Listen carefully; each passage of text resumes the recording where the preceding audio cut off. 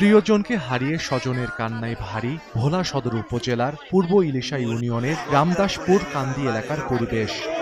করল স্বজনরা জানান, দুই শিশু সন্তানকে নিয়ে রোববার রাতে নিজ ঘরে ঘুমিয়েছিলেন কুলসুম বিবি। সোমবার সকালে ছেলে ওমরের কান্নায় প্রতিবেশীরা ঘরে ছুটে আসলে সেখানে দেখতে পায় কুলসুমের রক্তাক্ত লাশ। এ সময় নিহতের স্বামী ও বড় দুই ছেলে বাড়িতে ছিলেন না। জমি নিয়ে বিরোধের জেরে প্রতিপক্ষ এই ঘটনা ঘটিয়েছে বলে অভিযোগ তাদের। ছেলে দরজা মিলছে। মা মা করে সিকুর দরজা ফুলা, আমি শুনছি।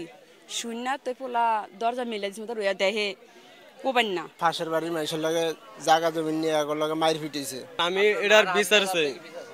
আমি এটার বিচার চাই। এটার কোটিং শাস্তি চাই। এই ঘটনায় যারা জড়িত তাদেরকে আইনের আওতায় দ্রুত এনে তাদেরকে শাস্তির আওতায় নিয়ে আসুক হত্যার ঘটনায় তদন্ত শুরু করেছে পুলিশ। সার্বিকভাবে তদন্ত করে তারপরে যে আসল যে রহস্য এর সাথে যে যারা জড়িত তাদেরকে আমরা আইনের আওতায় আনার জন্য চেষ্টা করি চার সন্তানের জননী কুলসুম বিবি তসির মাঝির স্ত্রী।